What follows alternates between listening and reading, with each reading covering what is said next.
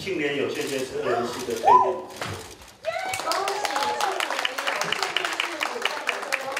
中嘉宽屏庆联有线电视关注河川守护，制作二人溪的蜕变与重生新闻，点出污染危机，并记录在地力量推动环境运动永续经营。获得曾旭白先生新闻奖的新一房屋社区营造与地方创生报道奖，展现地方重生的积极意义。那刚才在画面中，我们看到二人溪，二人溪看起来画面很漂亮，但我第一次踏上二人溪的时候，其实它的土壤层一层土一层 IC 板。那水边都是废弃的电缆线。那即便这样子，我们在那个社区里面，我们还是看到很多的在地耆老哈，很多的专家学者，为了环境，为了他们的社区哈，他们不断的在呃努力奔走当中。那也看到有新一代的年轻人哦投入了社区的营造。那我们希望透过这样子的报道，让更多人能够知道环境永续的重要，社区营造的重要。曾旭白先生新闻奖是台湾历史最悠久的新闻奖，成立以来备受新闻界重视，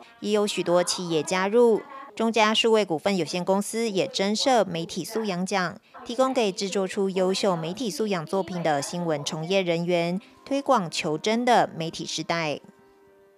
现在可能 AI 生成的这个文字内容、影音、图片等。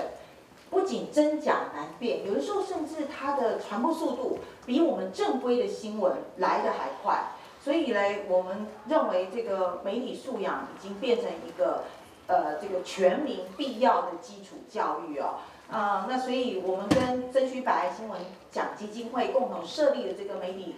适度呃媒体素养的奖项，其实最主要。啊，就是这这个也是全台湾第一个为新闻工作者设立的这个媒体素养奖项。其实我们最希望是能够呃期待更多的媒体同业能够一同参与，一同来关心台湾这个媒体素养的这个提升啊。我们有更多越来越多复杂的哦，更多的一种传播的形式的，甚至网络上的一种传播方式。所以在这种情形之下，啊，陈旭白先生新闻奖。也广邀啊民间企业的，大家有热心公益的，愿意来支持的，大家广邀大家来，啊就是提供各种新闻奖项，来让第一线媒体的工作者，他们有更多的精神的支持力量。